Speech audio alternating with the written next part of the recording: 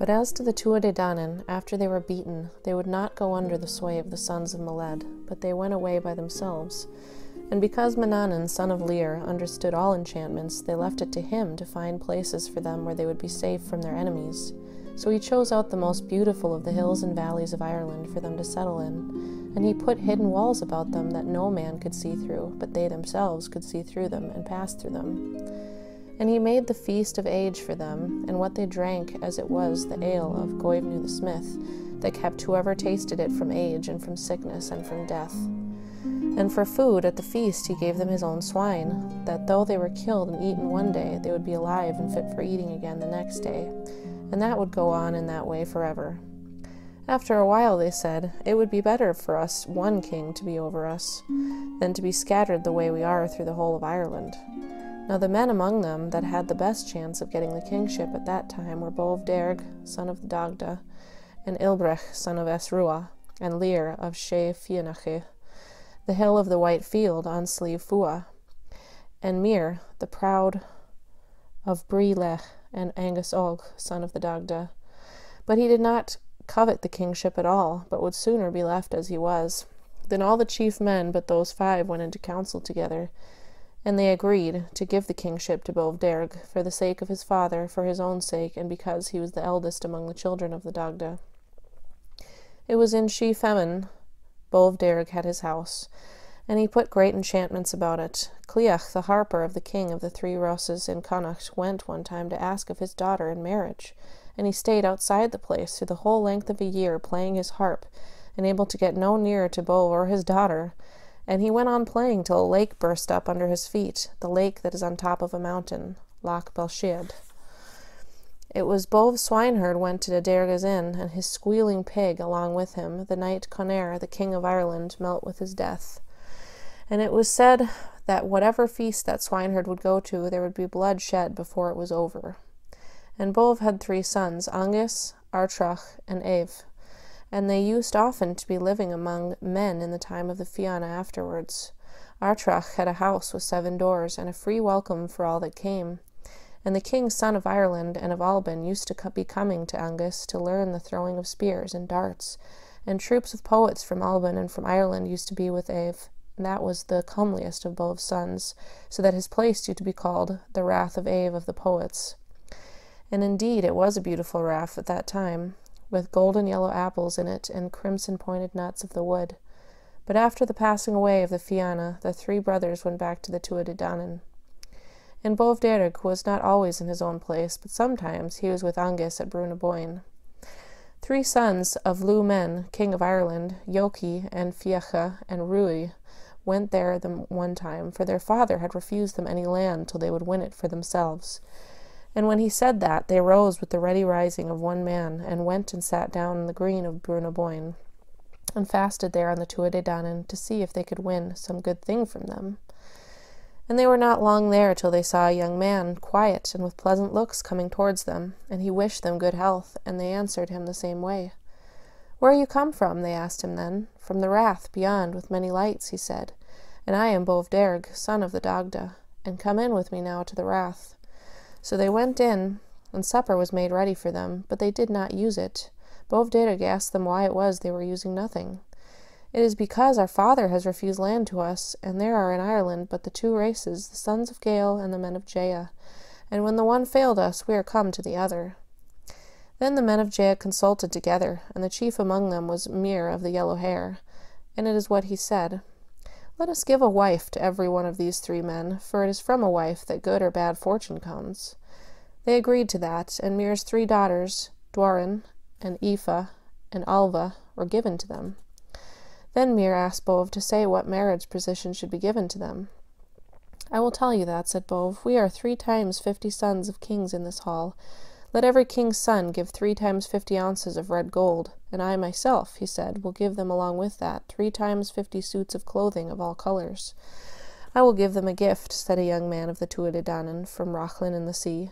A horn I will give them, and a vat, and there is nothing wanting but to fill the vat with pure water, and it will turn into mead fit to drink, and strong enough to make drunken. And into the horn, he said, you have but to put salt water from the sea, and it will turn into wine on the moment. A gift to them from me, said Lir of Yenacha. Three times fifty swords, and three times fifty well riveted long spears.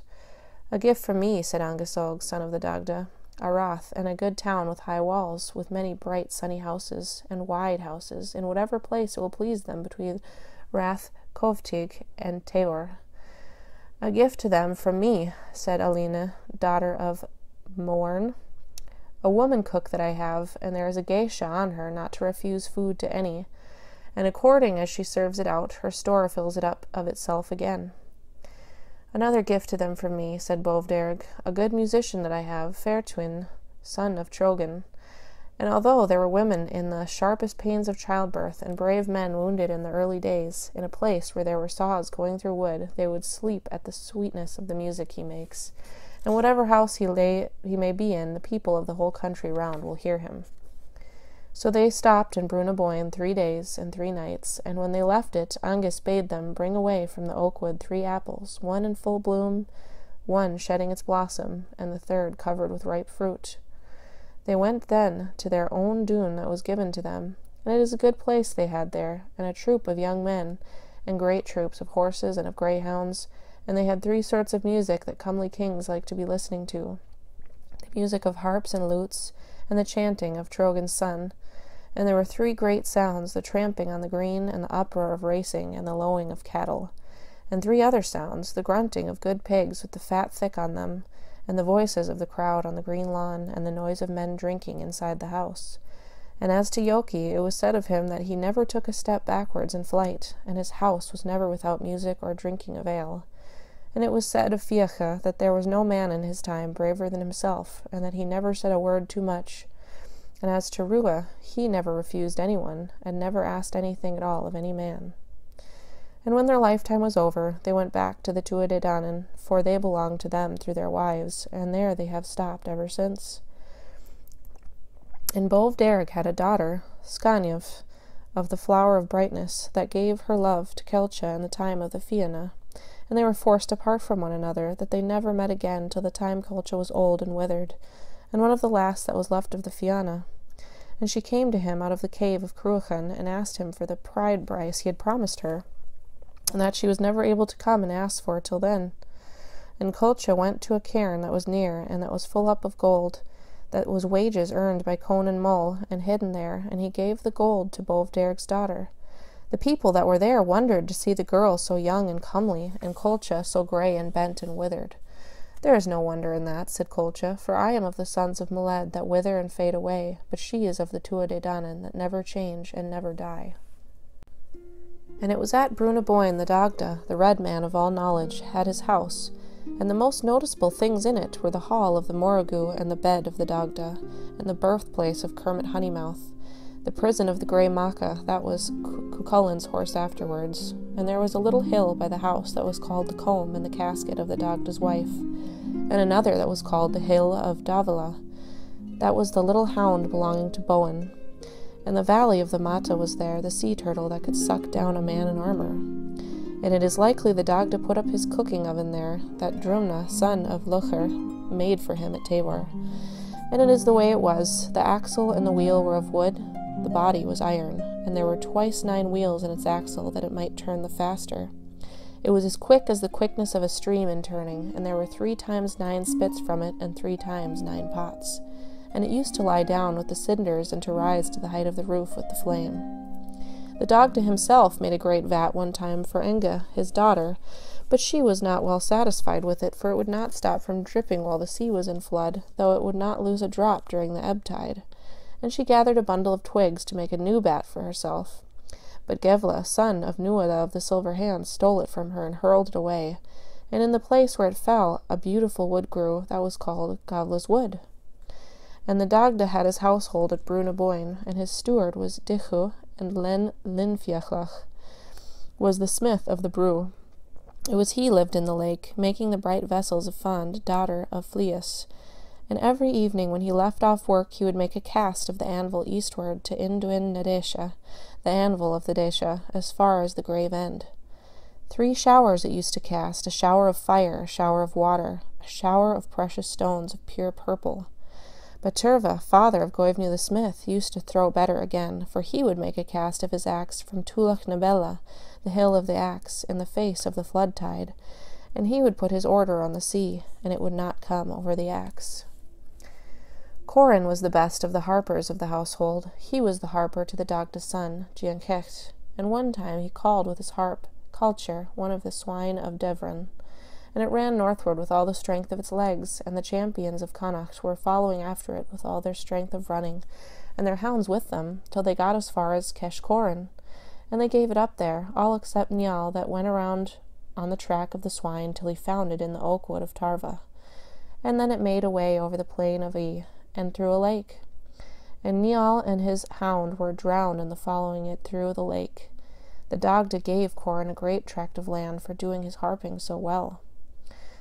But however great a house the Dagda had, Angus got it away from him in the end, through the help of Manannan, son of Lir, for Manannan bade him to ask his father for it for the length of a day and a night, and that he by his art would take away his power for refusing. So Angus asked for the Brugh, and his father gave it to him for a day and a night. But when he asked it back again, it is what Angus said, that it had been given to him forever, for the whole of life and time is made up of a day and a night, one following after the other. So when the Dagda heard that, he went away, and his people and his household with him, for Manannan had put an enchantment on them all. But Dichu, the steward, was away at the time, and his wife and his son, for they were gone out to get provisions for a feast for Manannan and his friends. And when he came back, and knew his master was gone, he took service with Angus. Angus stopped in Brunaboyne, and some say he is here to this day, with the hidden walls all about him, drinking Goibniu's ale and eating the pigs that never fail. As to the Dagda, he took no revenge, though he had the name of being revengeful and quick in his temper. Some say it was at Tewar he made his dwelling place after that, but wherever it was, a great misfortune came on him. It chanced one time Corrigan, a great man of Connacht, came to visit him, and his wife along with him. While they were there, Corrigan got in his mind that there was something that was not right going on between his wife and Ev, one of the sons of the Dagda. Great jealousy and anger came on him, and he struck at the young man and killed him before his father's face. Everyone thought the Dagda would take Corrigan's life then and there in revenge for his son's life, but he would not do that. For he said that if his son was guilty, there was no blame to be put on Corrigan for doing what he did, so he spared his life for that time. But if he did, Corrigan did not gain much by it, for the punishment he put on him was to take the dead body of the young man on his back, and never to lay it down till he would find a stone that would be its very fit in length and in breadth, and that would make a great a gravestone for him. And when he had found that, he could bury him in the nearest hill. So Corrigan had no choice but to go, and he set out with his load, but he had a long way to travel before he could find a stone that would fit, and it is where he found one at last, on the shore of Loch Favel, so then he left the body up on the nearest hill, and went down and raised the stone, and brought it up, and dug a grave, and buried the Dagda's son. It is many an ochon he gave when he was putting the stone over him, and when he had done that he was spent, and he dropped dead then and there. The Dagda brought his two builders, Garvin and Iwil, to the place, and he bade them build a rath around the grave. It was Garvin that cut the stones and shaped them, and Iwil that set them around the house till the work was finished. And then he closed the top of the house with a slab, and the place was called Hill of Ailach, that is, the hill of sighs and of a stone, for it was tears of blood the Dagda shed on account of the death of his son. And as to Angus Og, son of the Dagda, sometimes he would come from Brunaboyne and let himself be seen upon the earth. It was a long time after the coming of the Gael that he was seen by Cormac, king of Tewar, and this is the account he gave of him. He was by himself one day in his hall of judgment, for he used to be often reading the laws and thinking how he could both best carry them out. On a sudden he saw a stranger, a very comely young man, at the end of the hall, and he knew on the moment it was Angus Og, for he had often heard his people talking of him. But he himself used to be saying he did not believe there was any such person at all. And when his people came back to the hall, he told them how he had seen Angus himself, and had talked with him and Angus had told him his name and had foretold what would happen with him in the future. And he was a beautiful young man, he said, with high looks, and his appearance was more beautiful than all beauty. And there were ornaments of gold on his dress. In his hand he held a silver harp with strings of red gold, and the sound of its strings was sweeter than all music under the sky. and over the harp were two birds that seemed to be playing on it. He sat beside me pleasantly and played his sweet music to me, and in the end he foretold things that put drunkenness on my wits. The birds now that used to be with Angus were four of his kisses that turned into birds, and that used to be coming about the young men of Ireland and crying after them. Come, come, two of them would say, and I go, I go, the other two would say. It was hard to get free of them. But as to Angus, even when he was in his young youth, he used to be called the frightener or the disturber, for the plough teams of the world and every sort of cattle that is used by men would make away in terror before him. One time he appeared in the shape of a landholder of two men, Riv and Yochi, that were looking for a place to settle in. The first place they chose was near Bregia, on a plain that was belonging to Angus, and it was then he came to them, leading his horse in his hand, and told them they should not stop there. And they said they could not carry away their goods without horses. Then he gave them his horse, and bade them to pull all they had a mind to on that horse, and he would carry it. So he did. But the next place they chose was Ma Find, the fine plain. That was the playing ground of Angus and Mir, and that time Mir came to them in the same way and gave them a horse to put their goods on, and he went on with them as far as Ma Darftin. And there were many women who loved Angus, and there was one, Engi, daughter of Elkmer, loved him though she had not seen him. She went one time looking for him to the gathering for games between Cletach and she and Broga, and the bright troops of the Sidhe used to come to that gathering every Samhain evening, bringing a moderate share of food with them, that is, a nut. And the sons of Derk came from the north, of the Sidhe Findabrach, and they went round about the young men and women without their knowledge, and they brought away Alkmer's daughter. There were great lamentations made then, and the name the place got was Kogaba, the nut lamentation, from the crying that was at the gathering. And Derbrin, Yoki Fedlich's daughter was another that was loved by Angus, and she had six fosterlings, three boys and three girls. But the mother of the boys, Dalv Garb, the rough, put a spell on them. She made from a gathering of the nuts of Kal Ochid that turned them into swine. Angus gave them into the care of Buchet, the hospitaller of Leinster, and they stopped a year with him. But at the end of that time there came a longing on Buchet's wife to eat a bit of the flesh of one of them. So she gathered a hundred armed men and a hundred hounds to take them, but the pigs made away, and went to Bruna Boyne to Angus, and he bade them welcome. They asked him to give them his help, but he said he could not do that till they had shaken the tree of Tarbga, and eaten the salmon of Inver Umel.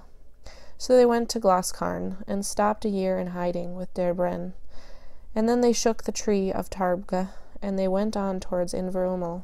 But Maeve gathered the men of Connacht to hunt them, and they all fell but one, and their heads were put in a mound, and it got the name of Dumaselga, the mound of the hunting. It was in the time of Maeve of Cruachan that Angus set his love on Caer Orma of the province of Connacht and brought her away to Brunaboyne. As to the Morrigu, the great queen, the crow of battle, where she lived after the coming of the Gael is not known, but before that time it was in Tewar she lived, and she had a great cooking spit there that held three sorts of food on it at the one time a piece of raw meat, a piece of dressed meat, and a piece of butter. The raw was dressed, and the dressed was not burned, and the butter did not melt, the three together on the spit. Nine men that were outlaws went to her one time and asked for a spit to be made for themselves, and they brought it away with them, and it had nine ribs in it.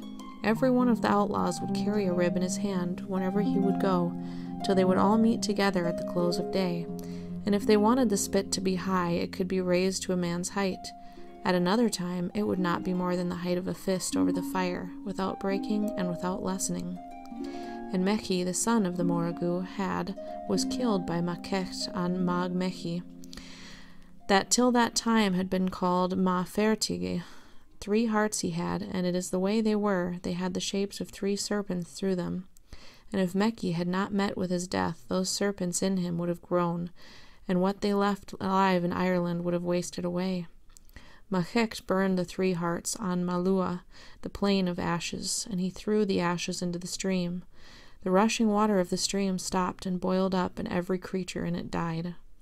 The Morrigu used often to be meddling in Ireland in Cuchulain's time, stirring up wars and quarrels. It was she that came and roused up Cuchulain one time when he was but a lad, and was near giving in to some enchantment that was used against him. There is not the making of a hero in you, she said to him, and you lying there under the feet of shadows. And with that Cuchulain rose up and struck off the head of a shadow that was standing over him with his hurling stick. That time Conchubar was sending out Finched to rouse up the men of Ulster at the time of the war of the Bull of Cuailgne. He bade him to go to that terrible fury, the Morrigu, to get help for Cuchulain. And she had a dispute with Cuchulain one time he met her, and she bringing away a crow from the hill of Cruachan, and another time she helped Talchinnom, a druid of the household of Conor More, to bring away a bull his wife had set her mind on and indeed she was much given to meddling with cattle. One time she brought away a cow from Odrus that was the household of the cow chief of Cormac Quind, and that was going after her husband with cattle. And the Morrigu brought the cow away with her to the cave of Cruachan and the hill of the Sidhe. And Odrus followed her there till sleep fell on her in the oak wood of Falga. And the Morrigu awoke her and sang spells over her, made of her a pool of water that went to the river that flows to the west of Slieve Buinne. And in the battle of Marah she fluttered over Congal Claen in the shape of a bird, till he did not know friend from foe. And after that, again, the battle of Cruantarv, she was flying over the head of Murcha, son of Brian, for she had many shapes, and it was in the shape of a crow she would sometimes fight her battles and if it was not the Morrigu, it was Bob that showed herself in the battle of Dunbolg, where the men of Ireland were fighting under Ave, son of Neil, and Bridget was seen in the same battle on the side of the men of Leinster. And as to Aine, that some said was a daughter of Manannán, but some said was the Morrigu herself, there was a stone belonging to her that was called Cachar Aine, and if any one would sit on that stone, he would be in danger of losing his wits and anyone that would sit on it three times would lose them forever. People whose wits were astray would make their way to it, and mad dogs would come from all parts of the country and would flock around it, and then they would go into the sea to Aine's place there. But those that did cures by herbs said she had power over the whole body, and she used to give gifts of poetry and of music. And she often gave her love to men. They called her the Lenanshee, the sweetheart of the Sidhe and it was no safe thing to offend Aine, for she was very revengeful. Oilill, Ollam, a king of Ireland, killed her brother one time. And as what she did, she made a great yew tree by enchantment beside the river Ma and Lumic, and she put a little man in it, playing sweet music on a harp. And Oilill's son was passing the river with his stepbrother, and they saw the tree and heard the sweet music from it. First they quarreled as to which of them would have the little harper, and then they quarreled about the tree, and they asked a judgment from Oilill that he gave it for his own son. And it was the bad feeling about that judgment that led to the battle of Ma Macruia, and Oilill and his seven sons were killed there, and so Aine got her revenge. Aoibhell, another woman of the Sidhe, made her dwelling place in Craiglia, and at the time of the battle of Clúintarv, she sent her love on a young man of Munster, Duvlung Ua Artigan, that had been sent away in disgrace by the King of Ireland. But before the battle he came back to join with Murcha, the king's son, and to fight for the Gael. Aoibhell came to stop him, and when he would not stop with her, she put a druid covering about him. That way no one could see him. And he went there where Murcha was fighting, and he made a great attack on the enemies of Ireland, and struck them down on every side. Murcha looked around him and he said, It seems to me I hear the sound of the blows of Duvlung on Argtigan, but I do not see him myself. Then Duvlung threw off the druid covering that was about him, and he said, I will not keep this covering upon me when you cannot see me through it. And come now across the plain to where Aoibhell is, he said, for she can give us news of the battle. So they went where she was, and she bade them both to quit the battle, for they would lose their lives in it. But Murcha said to her, I will tell you a little true story. That fear for my own body will never make me change my face. And if we fall, he said, the strangers will fall with us, and it is many a man will fall by my own hand, and the Gael will be sharing their strong places. Stop with me, Duvlung, she said then, and you will have two hundred years of happy life with myself. I will not give up Murcha, he said, or my own good name for silver or gold. And there was anger on Aoibhell when he said that. She said, Murcha will fall, and you yourself will fall, and your proud blood will be on the plain tomorrow. And they went back into the battle and got their death there. It was Aoibhell gave a golden harp to the son of Merda the time he was getting his learning at the school of the Sidhe in Connacht, and that he heard his father had got his death by the king of Lochlin. And whoever heard the playing of that harp would not live long after it. Maria's son went where the three sons the king of Lochlin were, and played on his harp for them, and they died. It was that harp Cuchulain heard the time his enemies were gathering against him at Morhemna, and he knew by it that his life was near its end. And Muir took a hill for himself, and his wife Fuamach was with him there, and his daughter Bree and Lech, son of Celtar and Culu, was the most beautiful among the young men of the Sidhe of Ireland at that time. And he loved Bree, Muir's daughter. Bree went out with her young girls to meet him one time at the grave of the daughters beside Tewar and Lay came and his young men along with him till he was on the hill of the after repentance. They could not come nearer to one another because of the slingers on Muir's hill that were answering one another, till their spears were as many as a swarm of bees on a day of beauty.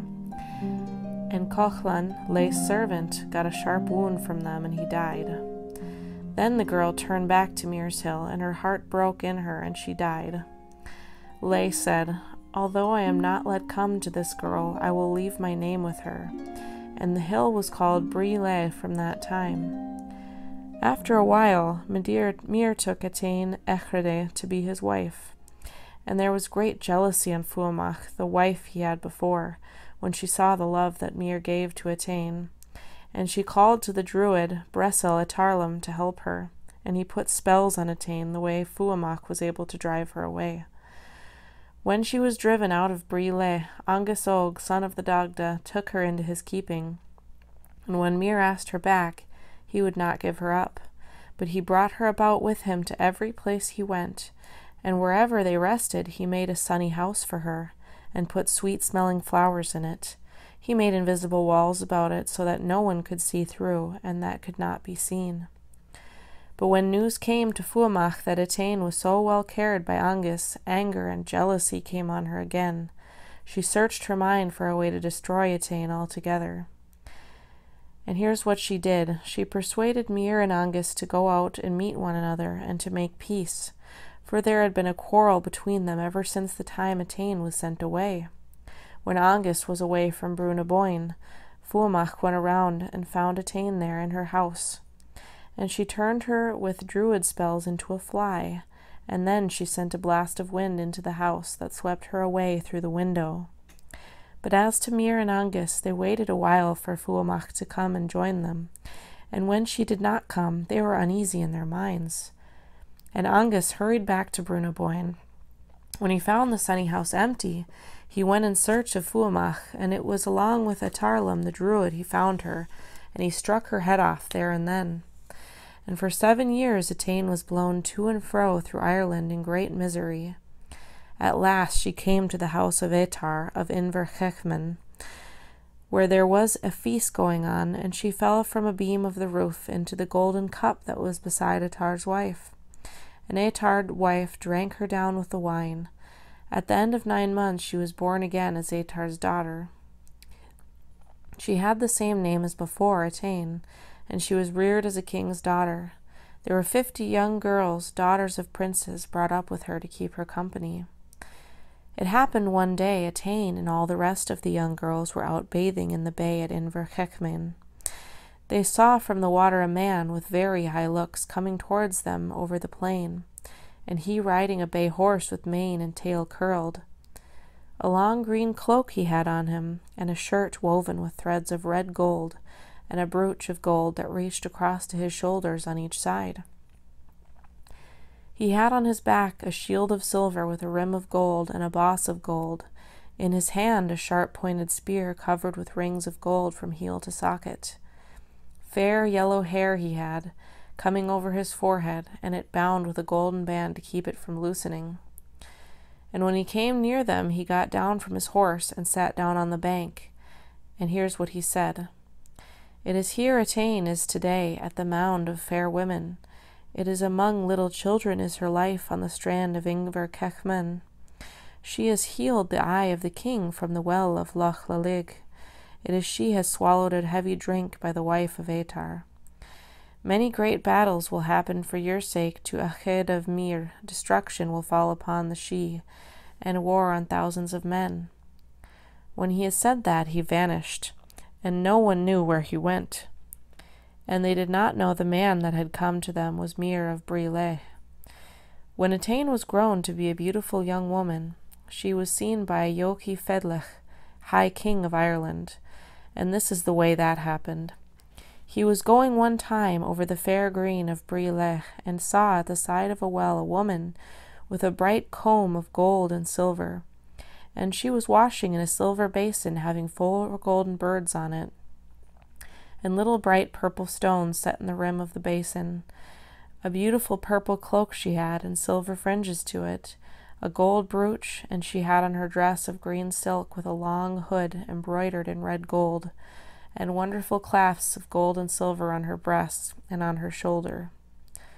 The sunlight was falling on her, so that the gold and the green silk were shining out. Two plaits of hair she had, four locks in each plait, and a bead at the point of every lock. And the color of her hair was like yellow flags in summer, or like red gold after it is rubbed. There she was, letting down her hair to wash it, and her arms out through the sleeve holes of her shift. Her soft hands were as white as the snow of a single night, and her eyes as blue as any flower, and her lips as red as the berries of the rowan tree, her body as white as the foam of a wave. The bright light of the moon was in her face, the highness of pride in her eyebrows, a dimple of delight in each of her cheeks, the light of wooing in her eyes when she walked, she had a step that was steady and even like the walk of a queen. And Eochaid sent his people to bring her to him. And he asked her name. She told him her name was Etain, daughter of Etar, king of the riders of the Sidhe. And Eochaid gave her his love. He paid the bride price and brought her home to Teamhair as his wife. There was a great welcome before her there. And after a while there was a great feast made at Teamhair, and all the chief men of Ireland came to it, it lasted from the fortnight before Samhain to the fortnight after it. And King Eochaid's brother, Ailill, that was afterwards called Ailill Anglonach, of the only fault, came to the feast. When he saw his brother's wife Etain, he fell in love with her on the moment. And all through the length of the feast he was not content unless he could be looking at her. And a woman, the daughter of Luchtalanderg of the Red Hand, took notice of it, and she said, what far thing are you looking at, Ailill? It is what I think, that to be looking the way you are is a sign of love. Then Ailill checked himself and did not look towards Etain any more. But when the feast was at an end and the gathering broken up, great desire and envy came on him, so that he fell sick. They brought him to a house in Tefja, and he stopped there through the length of a year, and he was wasting away. But he told no one the cause of his sickness. At the end of the year, Eochaid came to visit his brother, and he passed his hand over his breast, and Ailill let out a groan. What way are you? said Eochaid then. Are you getting any easier? For you must not let this illness come to a bad end. By my word, said Ailill, it is not easier I am, but worse and worse every day and every night. What is it ails you? said Eochaid, and what is it that is coming against you? By my word, I cannot tell you that, said Ailill. I will bring you one here that will know the cause of your sickness, said the king. With that he sent Fachna, his own physician, to Ailill, and when he came he passed his hand over Ailill's heart, and at that he groaned again. This sickness will not be your death, said Fachna then. I know well when it comes from. It is either from the pains of jealousy or from love you have given and that you have not found a way out of. But there was shame on Ailill, and he would not confess to the physician that what he said was right. So Fachna went away and left him. As to King Eochaid, he went away to visit all the provinces of Ireland that were under his kingship. He left Etain after him, and he said, Good Etain, he said, take care, take, take tender care of Ailill so long as he is living. And if he should die from us, make a sodded grave for him, and raise a pillar of stone over it, and write his name on it in Ogham. And with that he went away on his journey. One day now, Etain went into the house where Ailill was laying in his sickness, and they talked together. And then she made a little song for him, and she said, What is it that ails you, young man? For it is a long time you are wasted with this sickness, and it is not the hardness of the weather has stopped your light footstep. And Ailill answered her in the same way. He said, I have good cause for my hurt. The music of my own harp does not please me there is no sort of food is pleasant to me, and so I am wasted away. Then Etain said, Tell me what is it that ails you, for I am a woman who is wise. Tell me, is there anything that would cure you, that way I may help you to it? And Ailill answered her, O kind, beautiful woman, it is not good to tell a secret to a woman, but sometimes it may be known through the eyes. And Etain said, Though it is bad to tell a secret, yet it ought to be told now, or how can help be given to you? And he answered, My blessings be told now, or on you, fair haired Etain. It is not fit I am to be spoken with. My wits have been no good help to me. My body is a rebel to me. All Ireland knows, O king's wife, there is sickness in my head and my body. And Etain said, If there is a woman of the fair faced women of Ireland tormenting you this way, she must come to you here if it pleases you. And it is I myself will woo her for you, she said. Then Ailill said, Woman, it would be easy for you yourself to put my sickness from me, and my desire is a desire that is as long as a year, but it is love given to an echo, the spending of grief on a wave, a lonely fight with a shadow, that is what my love and my desire have been to me. And it is then Etain knew what was the sickness that was on him, and it was a heavy trouble to her. But she came to him every day to tend him, and to make ready his food, and to pour water over his hands. And all she could do she did for him, for it was a grief to her, he to wither away and to be lost for her sake. And at last one day she said to him, Rise up, Ailill, son of a king, man of high deeds, and I will do your healing. Then he put his arms about her, and she kissed him, and she said, Come at the morning of tomorrow, at the break of day, to the house of the Doon, and I will give you all your desire. That night Ailill lay without sleep until the morning was at hand, and at the very time he should have risen to go to her, it was at that time his sleep settled down upon him, and he slept on till the full light of day. But Etain went to the house outside the Doon, and she was not long there when she saw a man coming toward her having the appearance of Ailill, sick and tired and worn. But when he came near and she looked closely at him, she saw it was not Ailill that was in it. Then he went away, and after she had waited a while, she herself went back into the Doon. And it was then Ailill woke, and when he knew the morning had passed by, he would sooner have had death than life. He fretted greatly. Etain came in then, and he told her what had happened to him. And she said, Come tomorrow to the same place. But the same thing happened the next day. And when it happened on the third day, the same man came to meet Etain. She said to him, It is not you at all I came to meet here. And why is it that you come to meet me? And as to him I came to meet, she said, Indeed, it is not for gain or through lightness I bade him come to me, but to heal him of the sickness he is lying under for my sake. Then the man said, It would be more fitting for you to come to meet me than any other one. For in the long time ago, it was your first husband, I, and your first man. What is it you are saying? she said, and who are you yourself? It is easy to tell that, he said. I am Midhir of Bri Leith. And what parted us if I was your wife? said Etain. It was through Fuamach's sharp jealousy, and through the spells of Bresal Etarlaim, the druid, we were parted. Will you come away with me now? he said. But Etain said, It is not for a man whose kindred is unknown I will give up the High King of Ireland. And Midhir said, Surely it was I myself put that great desire for you on Ailill, and it was I hindered him from going to meet you. That way you might keep your good name. When she went back to Ailill's house, she found his sickness was gone from him and his desire.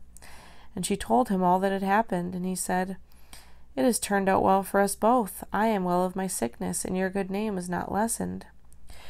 We give thanks to our gods for that, said Etain, for we are well pleased to have it so. And just at that time Eochaid came back from his journey, and they told him the whole story. He was thankful to his wife for the kindness she had showed to Ailill.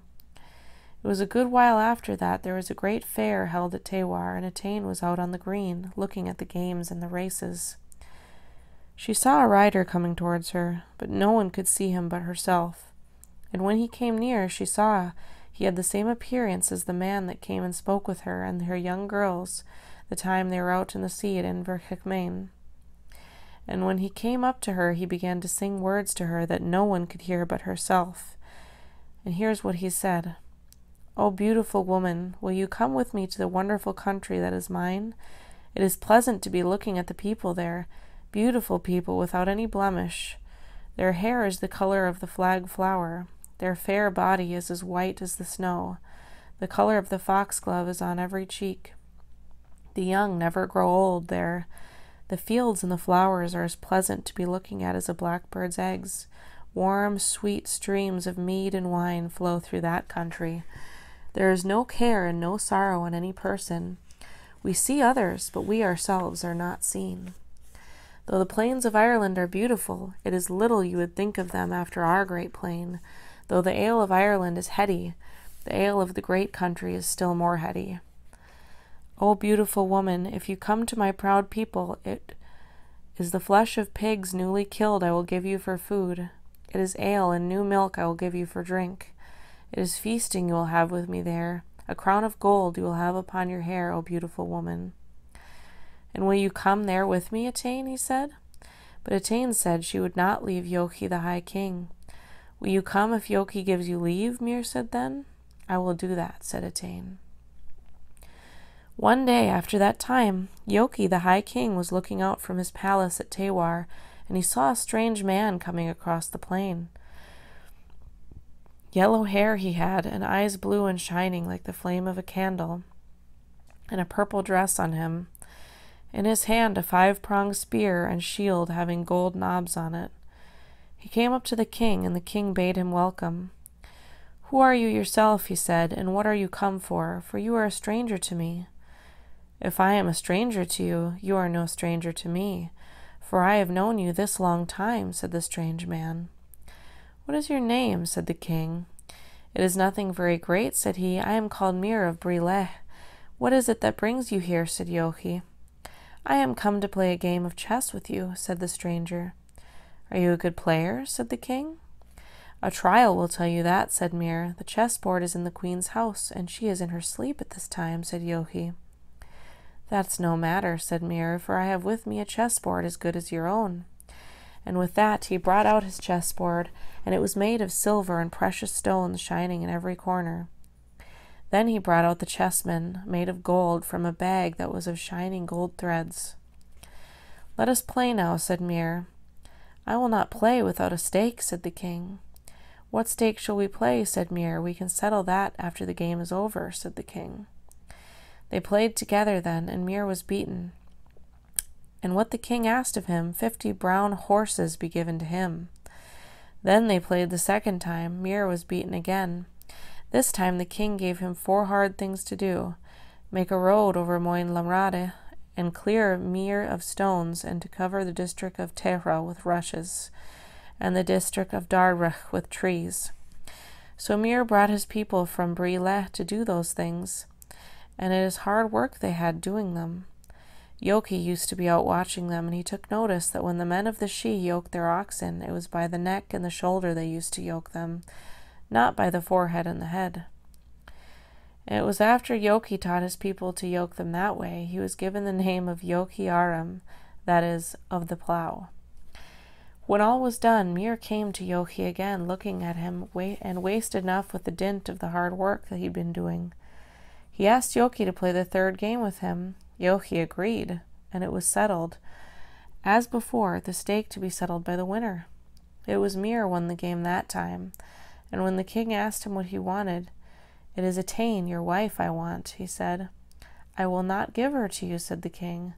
All I will ask then, said Midhir, is to put my arms about her and kiss her once. You may do that, said the king, if you will wait to the end of a month. So Midhir agreed to do that and went away for that time. At the end of the month he came back again and stood in the great hall at Teamhair, and no one had ever seen him look so comely as he did that night.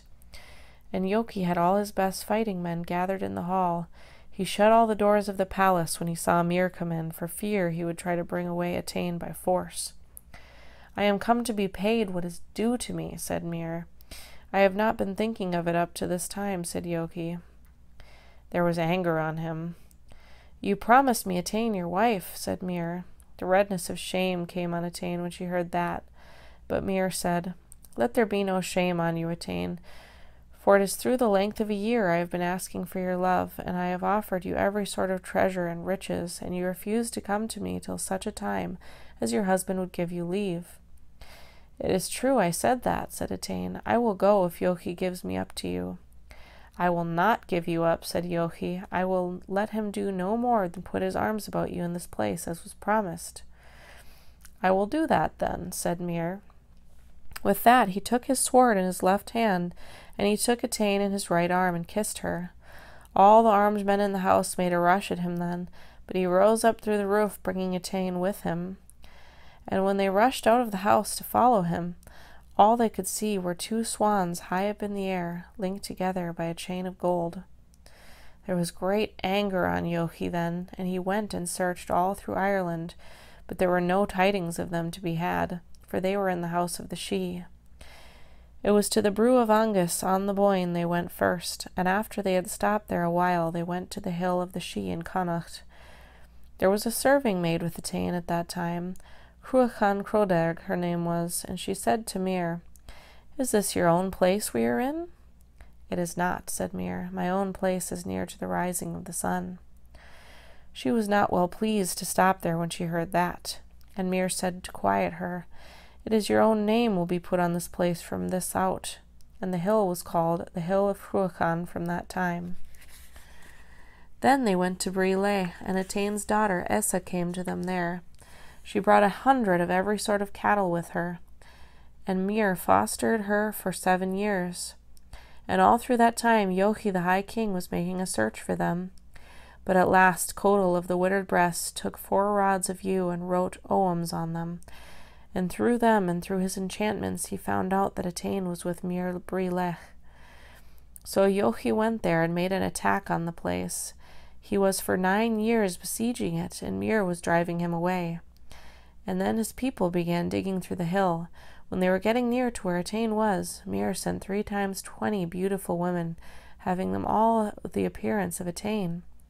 He bade the king choose her out from among them. And the first he chose was his own daughter Essa. But then Etain called to him, and he knew her, and he brought her home to Teamhair. Eochaid gave his daughter Essa her choice of a place for herself, and she chose it and made a rath there that got the name Rath Essa, and from it she could see three notable places the hill of Sidhe in Broga, the hill of hostages in Teamhair, and Dún Cruachan on Bain Adair. It was great anger on Madir, Midhir, and his people because of their hill being attacked and dug into. In revenge for that insult, they brought Conor, High King of Ireland, that was grandson of Eochaid and of Etain to his death afterwards at Derga's Inn.